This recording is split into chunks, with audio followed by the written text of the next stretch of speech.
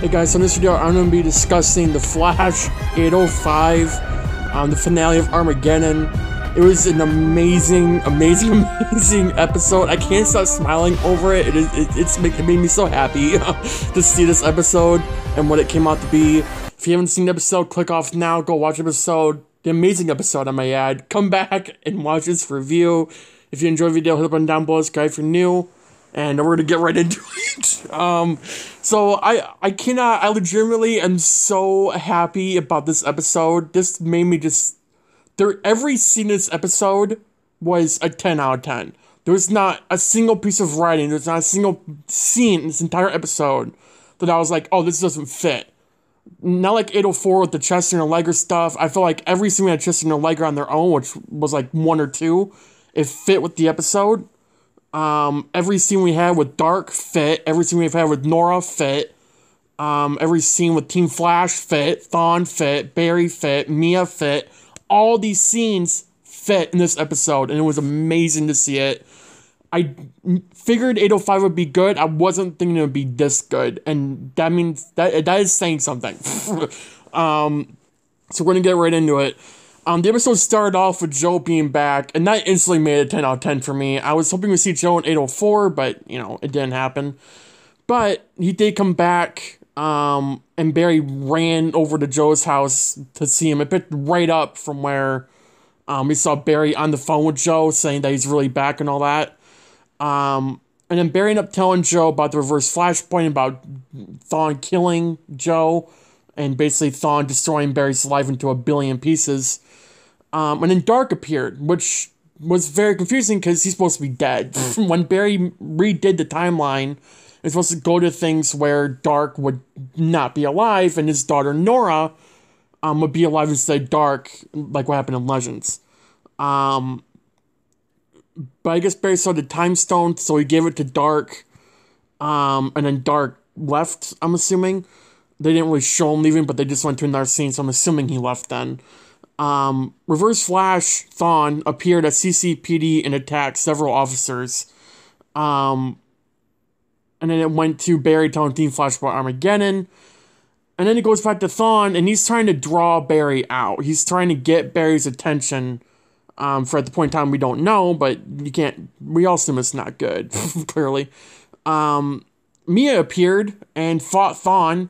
She did pretty well at the start, but should have uh she didn't have nanites. I think, uh, well, I guess if Ray Palmer's alive in the future, who knows now, but I guess she needs to talk to Ryan Choi about getting a nanite arrow, like Oliver did, and like Diggle has. You know, that she needs a nanite arrow if she's gonna be doing speedsters now, but, um, and then Barry came in, saved Mia, Thawne pushed her against the wall and did the phasing hand thing, went, almost went through her, and then Barry saved her. Um, the reason why Thawne wanted Barry to come out was to um, uh, save him. He wanted to show, basically, with people around him, um, with Thawne's ultimatum of either saving him or letting him die, because everyone knows the Flash wouldn't let someone die, no matter what they've done. Um, but he wanted witness, witnesses to it because Thawne thought Barry would actually let him die, and he wanted to see to not trust them more than they already don't. Although I guess that timeline doesn't exist, so if it's another timeline, I just messed up on that. But you know what I mean. You know, he wants Barry to be broken again, so that's kind of why. Um, then we learned that Mia's looking for William. Um, at the end of 809, William was taken. Um, future William was taken. And um, I guess she's still looking for him across the timeline because it was someone from the timeline um, Thawne is disappearing from the timeline, so if, you know, they don't save him, he's dead, like I said earlier. Um, Mia picked up temporal changes that were a part of Thawne. That's what drew her to 2021. That's why she's here in our time. Um, because she was looking for temporal changes like William. She ended up finding Thawne and drew her in. Um, Chester ended up knowing everything about Mia. He knows everything about every single hero on this universe. I, I don't. the scenes with Chester and like Ray and Mia and any other new hero that we got on this show that Chester hasn't met yet it's gonna be funny as hell because it's he's just being a geek about it, and it's funny because we all know. If you can't agree with this, what's wrong with you? We all know that if we actually met these heroes in real life, if they were real, right? Like if we met Superman, if we met the Flash or the Green Arrow, we would all be geeking out over it. Like we wouldn't be like super cool about it. We would be geeking the hell out. We all know we would be. If like so, it's funny to see Chester react that way around these new heroes that he's meeting, like Green Arrow and uh, the Atom. And when he met the Flash um, back in season six, that happened too. Which is, I think it's funny that they're doing that, bringing a normality to the show acting like we're Chester and we're experiencing like Chester way because we would be doing it that way. Um, then we learned that if Thawne dies, it's permanent because the timeline change is catching up to him. I'm assuming we're in like the OG timeline. I don't mean timeline before Armageddon or even pre-crisis. I mean the timeline where Thawne died in 123 and he died. He did not come back. I'm assuming it's that timeline. Um, but they can't actually kill him. Like Bear can't shove a gun to Thawne's head and pull the trigger. Like Thawne has to die to the timeline. That's the only way it works.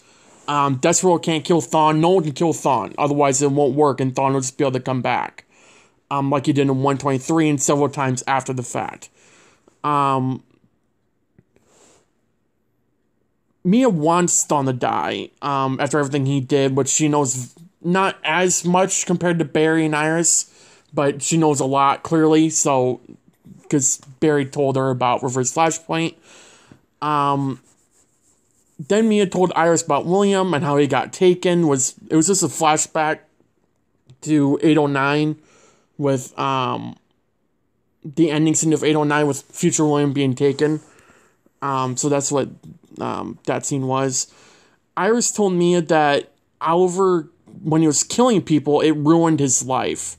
Um, because Mia was, he, she's willing to kill people to get William back. Um, and, you know, it, it was a good scene. I, again, every scene in this episode fit. The writing was really good. I, I'm happy they mentioned Oliver a lot in this episode. Um, which is what I was hoping for. We brought Mia Oliver's daughter back. You're gonna tell me they're not gonna mention Oliver or even Felicity, which they did mention Felicity. So I'm surprised they even did that. But I'm glad they mentioned Oliver several times throughout the episode. Um, Thawne has two hours before he's permanently gone in the episode, which means they have two hours to decide what they're going to do with Thawne. Um, Thawne brings up Kate's past before the particle accelerator went off, when Ronnie was alive and not Firestorm, like he was just Ronnie, he was Kate's fiance or married or whatever. Like there were then, you know, what Kate was going through and all that. And then Kate mentioned that Ronnie's gone forever. Now, spoiler, we know he's gonna be in 811. Whether he's in our timeline or it's gonna be another time travel episode, he's gonna be in the season. So that's gonna be interesting to see that happen. Um, Kate doesn't want to help Thawne. He wants to watch Thawne. She, sorry, she wants to watch Thawne die. Um, and then Thawne threatens Kate that she'll never get anything she wants if he dies, which is BS, but you know. um, Kate tells Bear that they need to let Thawne die. Barry kind of agrees with it um, because after everything Thawne's did, why does he deserve to live? And then Barry starts talking to Thawne about why he made a reverse flashpoint. Thawne said that they meet two centuries from now. That is 200 years. That is 200 years. How the hell is Barry alive in 200 years? Like, because Thawne, I don't know if that was like a bad wording, but two centuries is 200 years. I don't think Barry's going to be alive for another 200 years. so, is there another version of the Flash that's Barry? That is really confusing. I didn't realize it until I just said it out loud, but two centuries is 200 years where they meet for the first time. So is Barry our Barry just in the future and he meets Thawne, I guess? I'm assuming that's what it is, which is the pretty much the exact opposite from the comics, because in the comics, like this timeline Thawne meets Barry and it goes down this whole road of Thawne becoming the reverse Flash. Not like, you know, 200 years from now, you're going to meet me as a kid or whatever, and then you're going to piss me off and become the reverse of everything you are. Like, eh, I guess they can make it work. I just want to see it, though. We need to see it. we need to see it. I'm glad they mentioned Thawne's origin story again for the second time in the show. Then the first time they mentioned in season two. So six seasons now we've gone without an origin story of Thawne, but you know. Um, but we learned that when Thawne got his speed, he wanted to be the Flash, so he actually got speed. He was gonna save people, and he actually ran up to a group of people to save them from something that's going on. And Barry came in all quicky and speedy and saved them all. And Thawne felt humiliated that he didn't save him. And then he started hating Barry. um, and Barry mentions that only a psychopath would do that. You know, hate someone for saving other people when you didn't do it. Yeah, he's a psychopath. Um, if Barry saves Thawne, he will just keep coming up with other ways to kill Barry. Um, Thawne will keep coming up with other ways to kill Barry. So I can see where Barry's coming from on just letting him die, not only to save himself, but also everyone else, because Thawne's killed hundreds of thousands of people. Like, they just. I understand why Barry wants him to die, is what I'm saying. Um, Despero appeared while Barry is trying to come up with a decision to make, and told Barry to let Thawne die. And it kind of made Barry's mind go the other way to let Thawne, to not let him die um, because he didn't really know Despero's plan. He was questioning it. Um, if Despero kills Thawne, like I said earlier, he would just come back, which is why no one can kill Thawne. Like in 804, um, I actually saw someone talking about this. Why didn't Thawne just kill Barry in 804? Like, he just killed him like that and he would have been dead. Barry could just come back. I, I mean, even though it wouldn't have been like a whole Thawne situation where Thawne has like several time remnants throughout time and space where he can come back, Barry probably didn't do that. But I mean, Thawne doesn't know. So I, I think it's a matter of the fact that, or this Speed Force would have say Barry. I mean, come on. But something along the lines of if Thawne killed Barry in 804, it would have just ruined everything for Thawne. So that's why it was dragged out for Barry not dying by Thawne's hand instead by the timeline's hand because, you know, it's a timeline. Because it's permanent that way. It won't be permanent if like someone goes up to Thawne and just shoots him in the face. Like he'll still be able to come back. Um, even though Eddie's gone, it'll still happen. Um, Barry mentioned that Thawne can't change, and after that conversation, he knows that. I think we all knew that, honestly. Um, Iris agreed that um, did it to himself, he caused all this, and that he should die. Barry, Iris, and Kate are all agreeing on this, and they're pushing Chester, Cecile, and Allegra out of the decision because they're the quote unquote new kids on the block of Team Flash. Um, so they're just pushing away because they don't know Thawne. And I get, again, where they're coming from this, but at the same time, letting Thawne die isn't really heroic. if you're really thinking about heroes, you don't think about killing people. I mean, sure, Alfred was a hero, he killed people, but he stopped doing it once he really became a hero. So I think that's something that really, you know, made him look at this situation as a whole. Um, Joe came in pissed off as hell at Barry, Iris, and Kate, and then talked to Barry and Iris alone about not letting Thawne die. And if they take away Thawne's speed permanently, Thawne won't die. Barry made a thought about that before the main decision let him die. So basically, like what Jefferson did to Barry, to where if Barry gets his speed taken away, he thought the timeline would change. Jefferson wouldn't kill him and save everyone to save the whole city you know, that. It would happen again, but Barry would do it to Thawne, not Jefferson. Barry would do it to Thawne. Um, Despero took matters into his own hands because he saw what um, Barry was thinking about doing and what he was more likely gonna do. Um, so he decided to mind control Mia and attack Team Flash using her. Um, then we go to Barry talking about the plan to get rid of Thawne. Once Thawne's speed was gone, he would go to Argus. He already called Cisco, which was mentioned. So it's it's funny that they can't put him in Star Labs. Like I get why they're not because he's broken out of it several times and they're not watching him twenty four seven. But I mean, I guess Argus can hold him, you know, but I mean, if he gets out, you know what I mean? It's going to be another whole situation where if you're in Star Labs, they might know about it. You know what I mean? It, it's that whole situation. Um, which we don't entirely know who Thawne was talking to at the end of 804. We don't know that. Nothing was mentioned about it. I just realized that. We, we don't have we have no idea who Thawne was talking to at the end of 804. No idea. It wasn't Mia. I thought it was Mia at first, but it wasn't. It wasn't Despero, because Despero wants to kill him. It wasn't anyone on Team Flash, so who the hell was it? probably someone at Argus. I bet Thawne planned it, probably did that way. Maybe it's blood work. Or maybe it's this whole Red Death thing again. Who the hell knows? Um, like I said in the video or, uh, last week, um, Despero appeared in the Cortex with Barry, telling Barry he, um, that Thawne would just get his speed back again. And then Despero teleports himself and Barry away into some random place in the city. Um, and then they start talking, goes back to Star Labs. Mia has a sonic wave arrow, like with the canary cry, but in the arrow itself.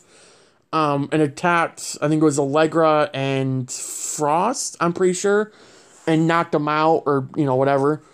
Um, and then Despero, Barry figured out that Despero lied about his past. He was never, he was always a villain. Despero was always a villain in this story, but so was Thawne. There was definitely two villains in this story, but Despero was the main one. He lied about his past. He was the one that caused pain. He was the one that caused tragedy on his home planet. He didn't save it. He didn't save anyone. He caused all of it. So Barry figured that out, and it's because of Despero's actions saying that, oh, I'm gonna kill you, I'm gonna do all this, gonna harm you, harm the city, harm the world to save one, you know, to save this whole planet, I need to destroy it, type thing. It's, you know, yeah, Barry realized that's not what a hero does, and that's what that Despero did. Um, so he's lying about it. Then Barry and Despero start fighting, and holy crap, it was an amazing fight scene. Um, Mia shot Kate in the leg. Um, and then Barry made several after images of himself, all running towards Despero. Um, and he actually made a lightning like force field on his arm to protect him from the lightning, or not the lightning, the um his laser eye shooting lasers at him. I didn't realize it was a lightning at first. I just saw him holding up his arm. and I'm like, I thought his lasers were powerful, but it was a lightning shield that he put up on his arm so he's using more lightning constructs, which is what we've all been wanting this show to do, and they're pulling it off. Um, which I also want to mention the CGI amazing with Despero, and the lightning too. Um, the writing was amazing. The camera work was amazing. Everything in this scene was amazing. Um, just hints on the best fight scene we've had in the show. Barry ended up making a bigger force field to protect him from a car that Despero picked up and just tried to slam on Barry. We've never seen that on the show or any show in the Arrowverse where that's happening. We, we've never seen that. Even on Supergirl Superman. We see him lift cars 24 We've never seen Barry this be able to hold a car using his speed force. Like, we've never seen him do that it, so it was a very good scene, a very amazing fight, and yeah, one of the best fights the show's ever had. Iris and Steel tried to get through to Mia to get her to stand down, um, because that's what's still controlling her. Iris mentioned William would not want Mia to go down the, that road, and she ended up snapping out of it. And then Despero got pissed off and teleported away, or teleported Barry back to Cortex. I mean, um, then we learn that to make an atomic bomb to kill Thawne. He's willing to destroy the entire city just to kill Thawne. Or to at least wait for the timeline to come in to let him go. At this point in time, it's like five minutes, I think they said, or so. Roughly five minutes. Somewhere around there. I don't know the exact time, but we can tell by how much time from this point to when Thawne was supposed to die. Roughly five minutes. So that's why he was doing it then. Um, Chester ended up making the gold boots. I don't remember out of what. I'm pretty sure it was that device that Barry gave Chester. But we finally got the damn gold boots. And he gave him the Barry. It, the gold boots were made to help absorb the energy from the atomic bomb that was underneath the world, the like the city, to draw it up from Despero and then to slam it down on him to draw his energy away from his home planet which would make him powerless in a way, so that he couldn't destroy the world or the city. So that was the whole point of go boots, and I love it, and we're still getting it next the next part of the season. So yeah, it was amazing run scene there, by the way. I'm gonna say it again, and I mean it this time. One of the best running scenes this show's ever had. Honestly, one of the best. Um, and then I said Barry Barry lands the energy right on top of Despero. Despero's connection was destroyed to his home planet, and then Despero disappeared. Don't know where he went, but he was like on fire and just flew away in the air. He didn't fly, but he just like disintegrated, I guess. Um, and then Barry runs back to Star Labs like under a millisecond, which I I'm glad he's that fast now. I'm glad it's like like that. It's not like run, go to another scene, show ten people, and like two minutes later, here's Barry. It's like that. It's just right away. Um, so I'm glad they're doing that. Barry drained Thawne's speed the same way like Lightning drained uh, Barry's in 803. Um, Thawne now has zero trace of negative speed force in him or any speed force um, in his system. Thawne ended up being even more me- angrier at Barry because he took away everything Thawne had. Barry took away everything Thawne had. And now he's even more pissed off about it. Um, and then they mentioned that Thawne's at Argus, Despero. They don't know where Despero went, but he, he's just gone right now, and probably for good. Um, Team Flash and Mia end up doing a little party to celebrate the success with Despero and Armageddon being done and Thawne being in prison, hopefully forever, for, or at least a majority of that time. Um, Darhk ended up appearing, and Mia nearly killed him because she realized what Mia had done to Laurel. She remembered that or I guess Oliver told her something something along those lines. Mia knows, and um, you know the multiverse crap with art, with the new Laurel coming in.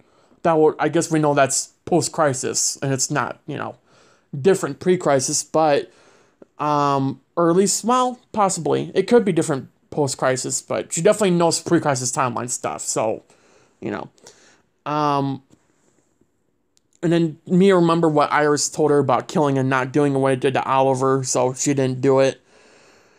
Um, Darhk's daughter's still dead, and Barry feels bad for him, and you know, talking to Darhk, and he felt better about it a little bit, but Barry did help him a lot through that.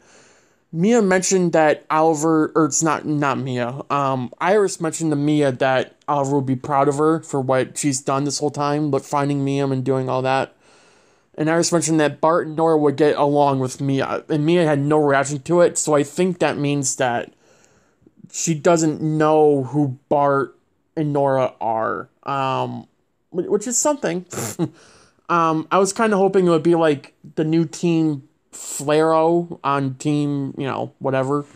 Um, like it'd be the new Legion of Superheroes in the future with, um, both, um, Mia, Bart, and Nora. You know, them crossing over every now and then, but you know, it works. Um, Joe ended up talking to Darhk, and he ended up thanking him for helping Barry save the timeline.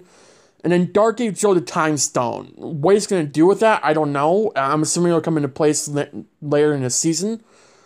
Um, but uh, yeah, then Darhk disappeared and sees Nora, and then Nora Darhk appears. Darhk's gone, he died. The timeline finally came back to normal and set back in.